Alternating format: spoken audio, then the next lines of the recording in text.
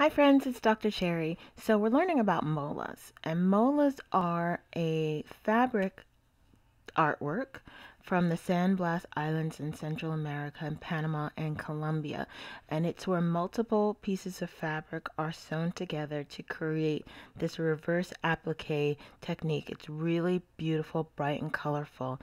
Um, and we don't have fabric and needle and thread to do it, but we're going to mimic or copy that technique by using crayons and markers. So uh, I have a mola. It is not an authentic mola, but it's a copy of one that you can see. It has a central figure and it is, see these two birds down here? And it is surrounded by geometric shapes to create a really nice pattern. Now what we're going to do is we're going to create a design like that, but we're going to use our hands as the central figure. So here you have my finished copy and it is a hand. And how do you think we made that hand? We traced our own hand. So what we're going to do today is we're going to trace our hand as the central character for our mola.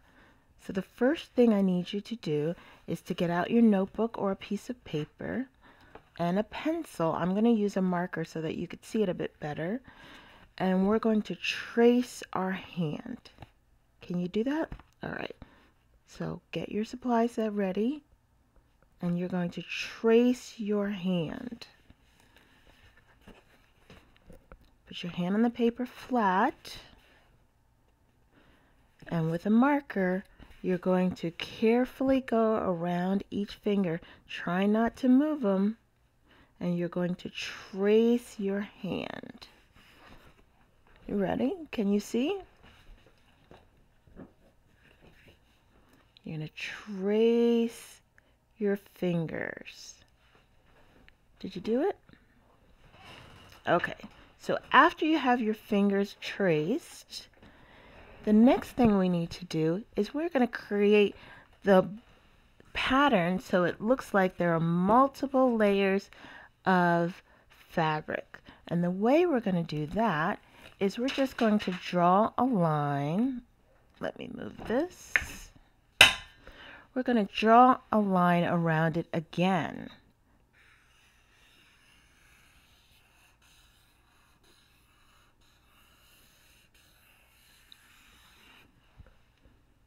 See that?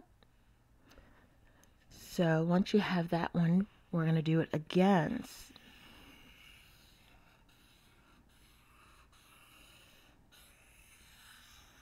So now we have one, two, three handprints.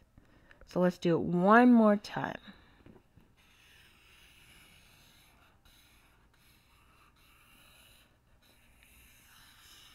So now we have four. Now remember the molas have lots of geometric patterns all around them. So in a geometric shape includes circles and squares and triangles. So let us use squares. So let's draw some squares around our hand.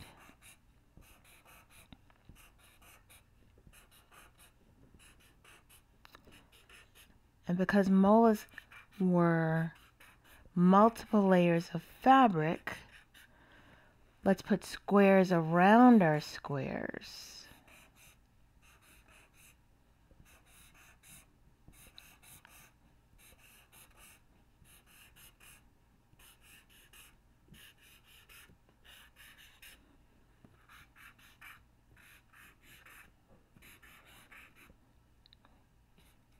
and try and fill in all of our spaces with these beautiful patterns.